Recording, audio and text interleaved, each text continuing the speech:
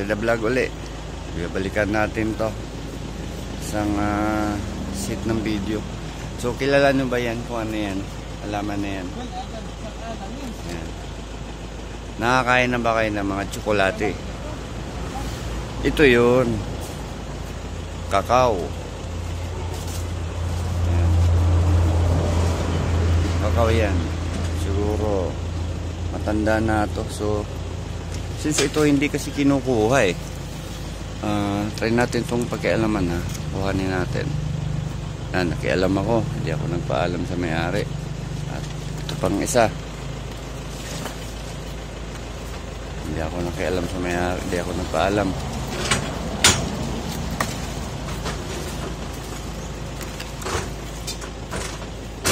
So, meron akong kinuhan dalawa.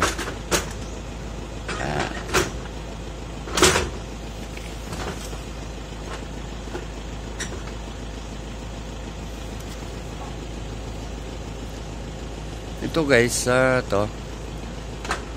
Oh, Pagdi-discover natin sa mga punong kahoy na may bunga. May advantage din. Nakakalibre tayo ng mga protas. So, ulitin ko, yan yung kakao. Yung mga bata dyan na nanonood. Yung kinakain ng chocolate. Uh, yan, yan, dito galing yan. Dito galing. Yan. So, kumuha akong dalawang piraso. Subukan ko mag-routing nito. Bigyan ko kayo ng ano. Nagawa tayo ng isang video pa. Magpe-pre-routing tayo ng kakao kung effective ba.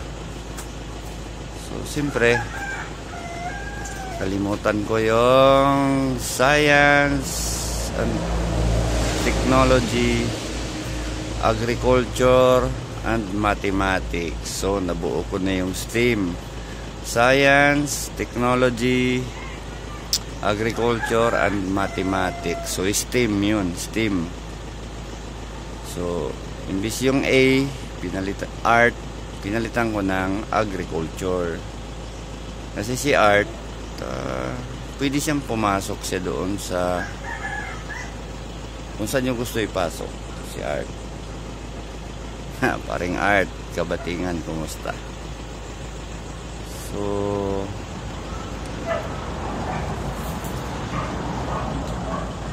ang height nito almost 5 meters na rin. So medyo matanda na yan pero masipag pang bumunga.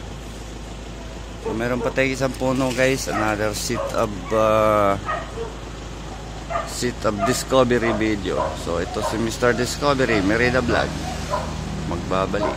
Maraming salamat.